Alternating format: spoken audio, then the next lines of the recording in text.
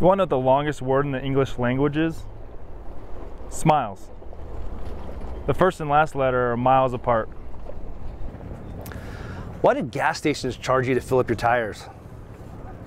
Inflation.